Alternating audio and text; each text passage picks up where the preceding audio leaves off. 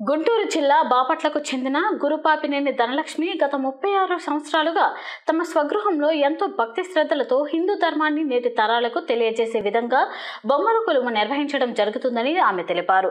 తన ఇద్దరు కుమారుల సహకారంతో ఎటువంటి ఆటంకాలు లేకుండా ప్రతి ఏడాది బొమ్మల కొలువు నిర్వహిస్తున్నామని ఈ బొమ్మల కొలువులో మూడు వేలకు పైగా బొమ్మలు ఉన్నాయని వివిధ పుణ్యక్షేత్రాల నుండి హిందూ సంప్రదాయాలు ప్రతిబింబించేలా ఉండేటువంటి బొమ్మలను సేకరించి ఈ బొమ్మల కొలువు ఏర్పాటు చేశామని వారు వివరించారు.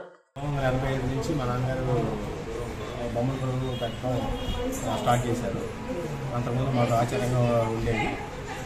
వాస్తవంగా మా నాన్నగారు కంటిన్యూ చేశారు. దాన్ని మేము అదే విధంగా కొనసాగిస్తున్నాము. పంతొమ్మిది వందల ఎనభై ఏడు నుంచి ఇట్లా బొమ్మల కొలువు పెట్టడం ప్రతి సంవత్సరం కొత్త కొత్త బొమ్మలు ఏ ప్రాంతానికి వెళ్ళినా అక్కడ ఆ ప్రాంతం నుంచి కొత్త వెరైటీస్ బొమ్మలు రావడం అవి బొమ్మల కొలువులో పెట్టడం ప్రతి సంక్రాంతికి ఈ విధంగా కార్యక్రమం తీసు చేయడం జరుగుతూ ఉంది.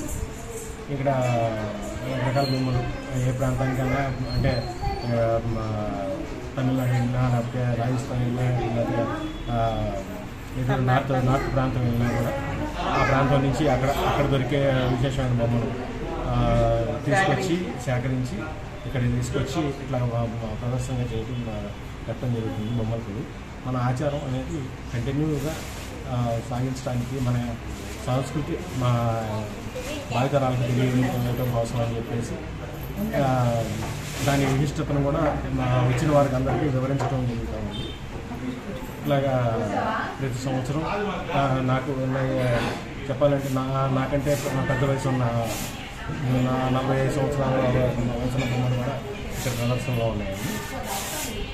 విధంగా మా మా తిరుమల కొండలో విశేషంగా చేస్తాము. తర్వాత రాముడికి సంబంధించి రాముడు రామాయణ ఆ, ఘట్టాలు మొత్తం అన్ని రావణ సభ మా రామసేతు కట్టడం నిర్మించడం రామ రామరామణి కట్టడం అట్లాగే అన్ని అన్ని ఘట్టాలు ఉంటాయి.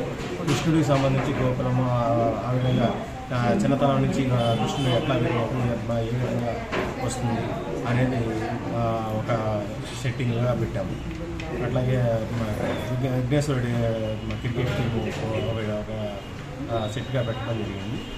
అట్లాగే మా కృష్ణుడికి సంబంధించి మా పన్ను చెట్టు ప- చెట్టు ఒకటి విశేషంగా ఉంటుంది.